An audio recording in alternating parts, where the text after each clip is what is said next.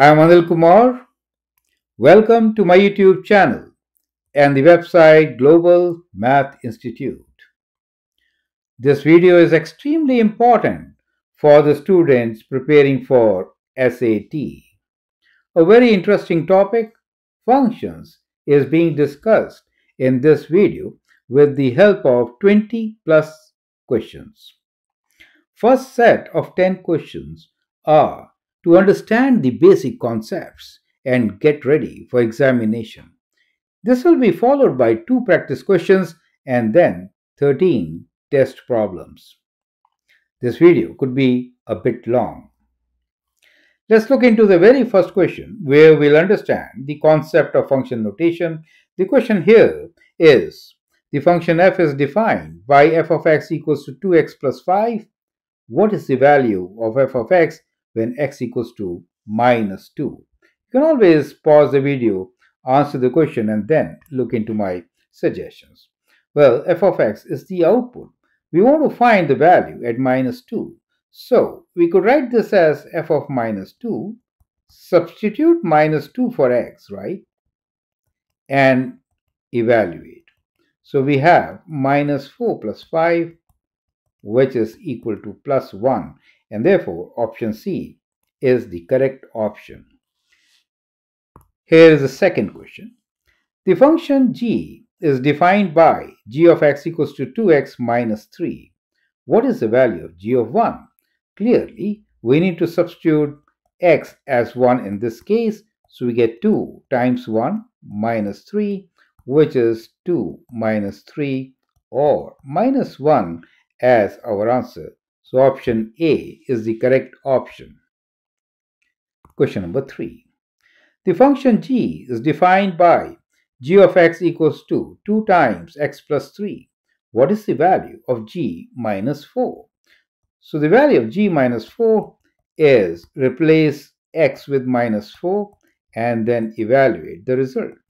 What do we get? We get 2 times minus 1 or minus 2 and Option A is the correct option. So as you can see, the very first set of three questions was to find the output. Now let's look into question number 4, which is the function h is defined by h of x equals to 6 minus 2x. Find the value of x when h of x is minus 2. How are you going to do this? Well, h of x, which is the output, is given to us we need to find the value of x. Let us substitute minus 2 for h of x and evaluate the value of x, correct? So we'll rearrange the equation. Bringing x on the left side with 2, we have 6 plus 2 on the right side now. So 2x is equal to 6 plus 2 which is 8 and x should be equal to 8 divided by 2 which is 4. So D is the right option, correct? Question number 5. Here we'll find the x-intercept. The linear function f is defined by f of x equals to 2 times x minus 3.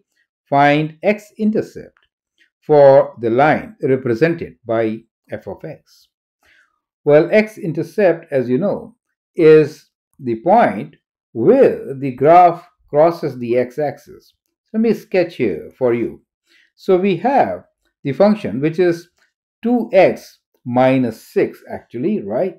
So if I sketch the graph, it will be slope or gradient of 2 and the y-intercept of minus 6, correct? Here we need to actually find the x-intercept. Means y is 0, that is this point, right? So we'll substitute 0 for f of x and evaluate the value of x. Now dividing by 2, we get x minus 3 and clearly x equals to 3 will give us a 0 so option D is the right option. So I hope that is absolutely clear. Let's move on and find the y-intercept in the next example. So here the function f of x is given to us as equal to 2 times x minus 3, same function, and we need to find the y-intercept y-intercept, as I discussed, is a point where x is 0. So let's find what is f of 0? That is y-intercept, right? So if I substitute 0 here, I get 2 times minus 3, which is equal to minus 6. And therefore, option A is the correct option. Let's move on and take the next question, which is question number 7.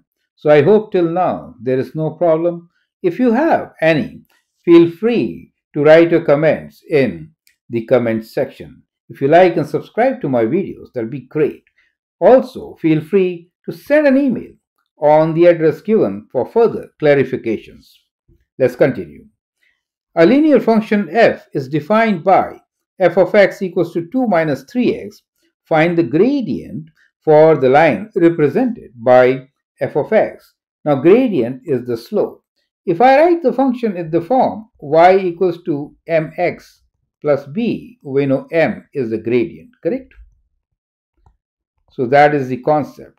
So let me rearrange this particular equation to write in the given form. So we have f of x equals to 2 minus 3x. Well, clearly, minus 3x plus 2 is the other way of writing it, and the gradient m is minus 3, the coefficient of x. And here, option B is the correct option. Here is question number 8 for you. The linear function f is defined by f of x equals to 2 times x minus 3 plus 1. Identify a point on the graph of f of x. Now we are given four different points. What you need to do is to substitute x value and see do you get the same y value as given by the coordinate point? Correct? Well, we have two values with 3. Let's try that first, right? So let me just check what is f of 3 equals to. So if I substitute 3 here, I get 2 times 3 minus 3, which is 0, plus 1. So I do get 1, which is option D. See, in multiple choice questions, it may be important to even select a point for calculations.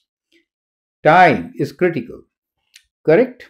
So we get option D as the correct point here. For the value of 3, the output is 1. Next question. Question number 9 for us. The function h is defined by h of x equals to 2x minus 1. Find the expression for the function h of x plus 1. Very interesting question. So when I want to find what is x plus 1, replace x with x plus 1 and evaluate or simplify the expression. Well, what do we get? We get 2x plus 2 minus 1, which is 2x plus 1, which is option B for us. So we get our option B as the right result. I hope it is absolutely clear. And now let's take up the last question. It is a thinking application question on function notation. We are given the function h, which is defined as h of x equals to 2x minus 1, and g of x is twice h of x plus 3. We need to find the solution for h of x equals to g of x, the point of intersection for both these functions. Well, here is the best way to do it. We need to figure out what is h of x equals to g of x, right? The value of x for which both the functions are equal. Well, we are given that g of x is twice h of x plus 3. So let's rearrange. Bringing 3 to the left, we get minus 3 equals to twice h of x minus h of x, which is h of x. Now we could rewrite h of x as 2x minus 1 and then solve. So we get minus 3 plus 1 equals to 2x. Minus 3 plus 1 is minus 2 equals to 2x. And clearly, x is equal to minus 2 by 2, which is minus 1. So option B is the right option. Do you see that? So these types of questions which involve more than one function can be tricky at times. So I hope you have understood all the concepts. I'll now like you to pause the video and solve the practice question. The practice question has the first four types of examples. The function f is defined by f of x equals to 2x minus 1. Find the value of f of minus 2, value f of 0. Find the expression for f of x plus 2 and a if f of a is 7. Perfect. first four examples will help you answer this question. Here is practice question 2 where we have similar type to practice. Perfect. Once you have done these practice questions, here are the text questions for you. Have a look at this, pause the video, answer, and then look into my suggestions. I'm going to upload another video which will have complete solution to all these test questions. At present, have a good look at it and try to solve them. Write in comments if you need any suggestions for any of these questions. I hope you find them interesting and very useful. Feel free to write a comment, share your views. If you like and subscribe to my videos, that'll be great. Also provide your own test questions which we could include in further videos. So here we are at question number 10 and these are slightly more challenging questions which are normally the top 5 questions in any SAT test types, right? So here we are talking about function or function with exponents and the last question is function with the radicals.